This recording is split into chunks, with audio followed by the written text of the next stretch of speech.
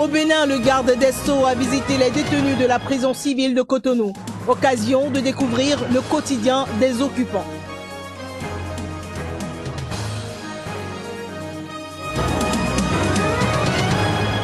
Salif Keita, artiste et musicien, appelle à une protection plus efficace des albinos en Afrique, des personnes fréquemment victimes d'attaques.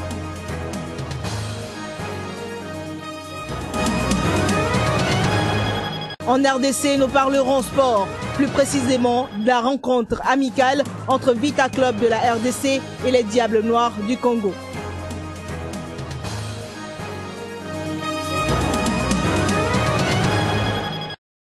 Ravi de vous retrouver à cette nouvelle session d'information. Au Bénin, les détenus de la prison civile de Cotonou ont reçu la visite du garde des Sceaux, ministre de la Justice, de la Législation et des Droits de l'Homme.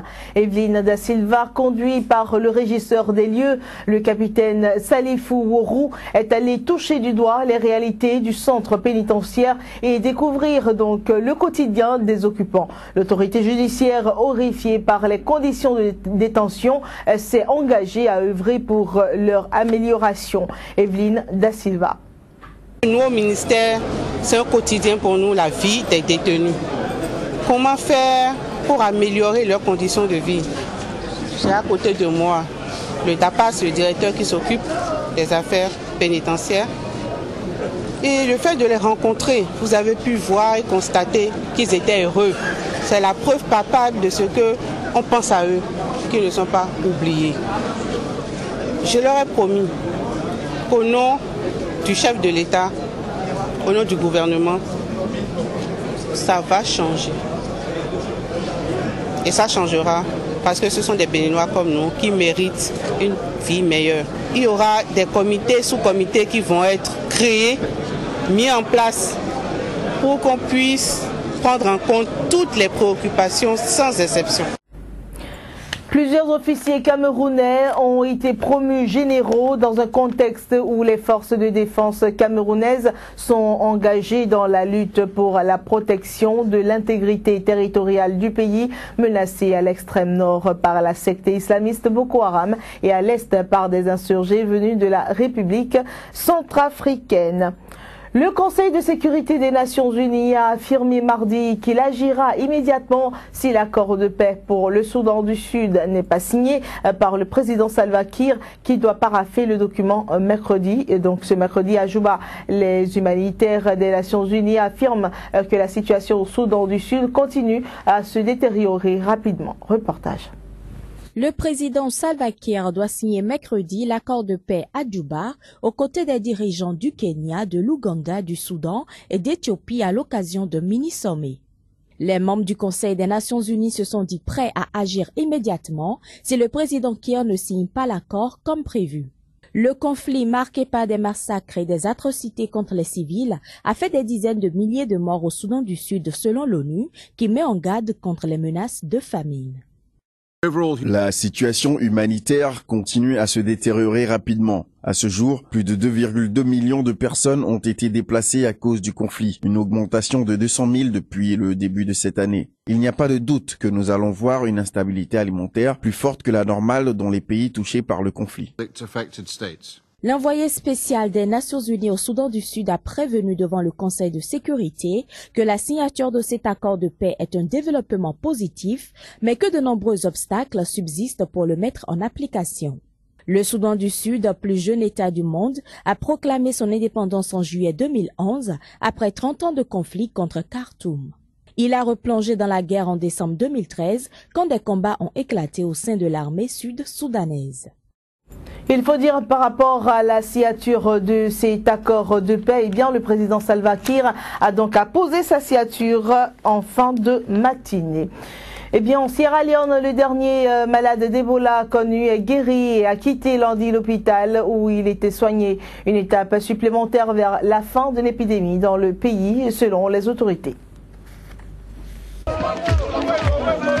La Sierra Leone, qui n'a officiellement pas connu de nouvelles infections depuis plus de deux semaines, est sur le point de rejoindre le Libéria, qui ne compte plus de cas d'Ebola. La Guinée continue cependant d'enregistrer de nouvelles infections. Ces trois pays sont les plus touchés par l'épidémie. Selon l'OMS, un pays est déclaré exempt du virus 42 jours, soit deux fois la durée maximale d'incubation après le dernier cas connu. Aujourd'hui, nous sommes heureux d'annoncer que dans ce pays, nous n'avons plus aucun autre patient souffrant du virus Ebola. Votre nom restera dans l'histoire de ce pays car vous êtes le dernier. Et nous espérons et prions pour que vous restiez à jamais le dernier.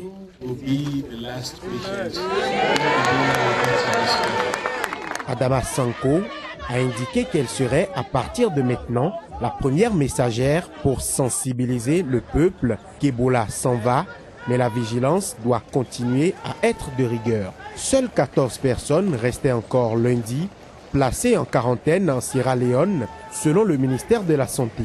Face à l'amélioration de la situation, le président Koroma avait annoncé le 8 août la levée de nombreuses mesures de restriction prises pour lutter contre le virus. Ebola a dévasté l'économie dans les pays les plus touchés. En Sierra Leone notamment, les exportations d'or ont été divisées par trois et celles de diamants ont baissé de moitié au cours du premier semestre 2015 à cause d'Ebola, selon l'Agence nationale des minerais. La légende de la musique africaine Salif Keita appelle à la protection des personnes atteintes d'albinisme. Un appel qui intervient alors que la Tanzanie prépare les élections générales d'octobre. Ce, dans un climat de peur face à la montée des attaques de sorcellerie visant les albinos. C'est complètement ignorant et c'est inacceptable qu'un être humain sacrifie un autre humain pour son bonheur. L'artiste musicien Salif Keita, qui dirige une campagne internationale de soutien aux personnes atteintes d'albinisme, est écœuré par le fléau.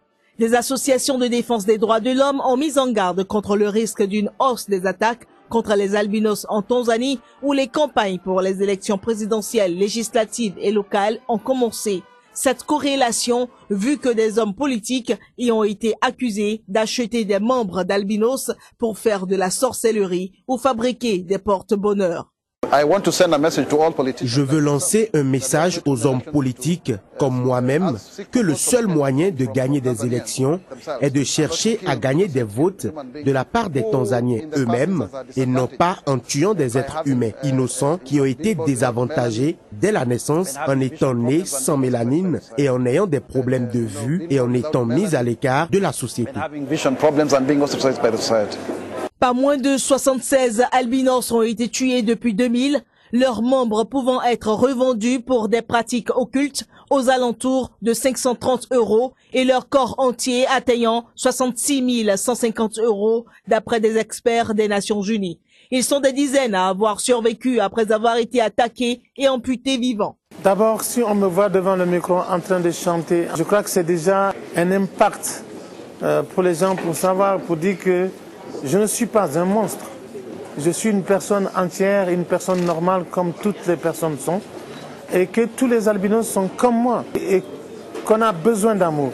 L'albinisme est une affection génétique héréditaire qui cause l'absence partielle ou totale de pigments de la peau, des cheveux et des yeux. Le taux d'albinisme est anormalement élevé en Tanzanie du fait de la consanguinité, selon les experts. Salif Keita espère qu'en prenant la parole et en continuant à jouer sa musique, il pourrait aider à mettre un terme à ces attaques dont les victimes sont souvent des enfants. Les Nations Unies ont demandé aux pays européens de faire preuve d'humanité envers les migrants qui veulent entrer dans l'Union européenne tout en reconnaissant leurs préoccupations légitimes. Cette annonce fait suite aux violences subies ces dernières semaines euh, par les migrants en provenance notamment de la Serbie et de la Syrie. De jour comme de nuit, par transport en commun ou à pied, des hommes et femmes, avec parfois des enfants, tentent de regagner l'Europe occidentale. Au total, 2093 migrants ont traversé la frontière serbo-hongroise, a indiqué la police mardi.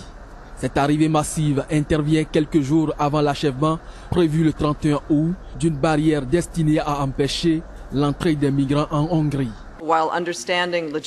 Tout en comprenant les préoccupations légitimes des pays de la région concernés, évidemment, il s'agit d'un chiffre important et inattendu de personnes. Nous demandons au gouvernement concerné de mettre en œuvre des mesures de gestion de la frontière avec humanité et également en accord avec les obligations internationales.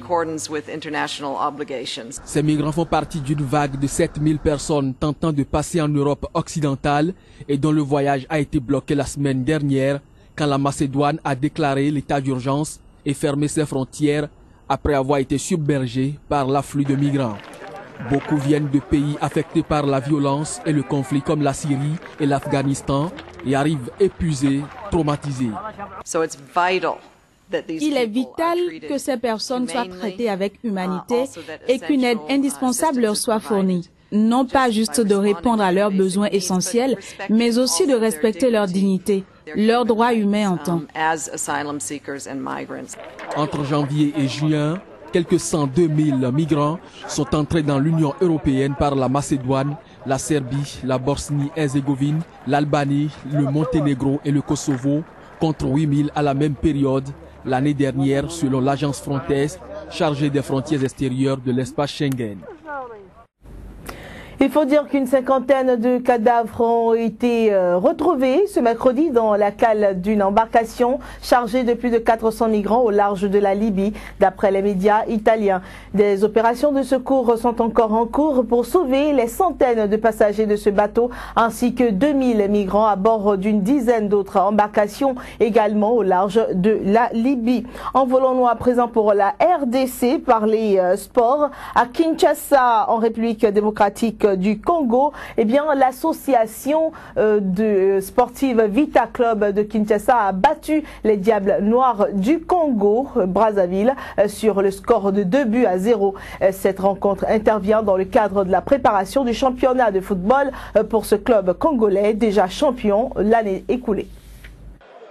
Les Congolais, plus précisément le supporter de l'association sportive Vita Club, se sont montrés déterminés à soutenir leur équipe dans ce stade mythique de Tata Raphaël. Voilà pourquoi ils ont répondu tous présents à cette rencontre amicale entre le dauphin de Kinshasa et les Diables Rouges de Congo-Brazzaville.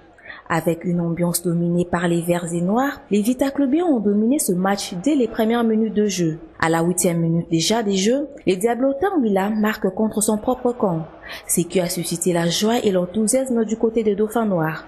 Le supporter de leur côté ne pouvait que, une fois de plus, soutenir leur équipe qui ne cesse de démontrer sa bravoure. Les deux clubs ont été renvoyés au vestiaire à la mi-temps sur ce score d'un but à zéro en faveur de Dauphins Noirs de Kinshasa. Au retour sur l'air du jeu, le même Vita Club alourdit le score à la 59e minute, permettant alors à cette équipe de mener le match par deux buts à zéro jusqu'à la fin du jeu. Animé d'une grande satisfaction, l'entraîneur Florent Ibengue se dit fier de son équipe car la conservation du ballon a été totale. Son seul souhait est de mener cette association sportive Vita Club au sommet des clubs africains. Donc on n'a pas trop ménagé ce match et puis comme vous avez vu, on n'a pas eu euh, le temps de s'échauffer correctement. Donc ça explique un petit peu la façon dont on est rentré en première mi-temps un peu poussif. Mais malgré tout, on a gardé notre jeu à base de conservation de ballon. On a bien conservé le ballon et on a procédé par des changements de rythme. On a, sur l'un des changements de rythme, d'ailleurs, on a marqué un but. Et en deuxième mi-temps, ça a été beaucoup mieux. On a, on a été euh, un petit peu mieux dans notre pressing, dans notre récupération du ballon, ce qui a fait que on a pu euh, à nouveau marquer. Les Diables Rouges ont eu des mots justes pour estimer aussi la performance de leur adversaire. Vainqueur de la 20e édition du championnat national de football de la République démocratique du Congo, Vita Club a reçu de la part des dirigeants de la Ligue nationale de football congolaise, avant cette rencontre, le trophée de champion et des médailles pour le championnat de la saison sportive 2014-2015. Ce sera tout donc pour ce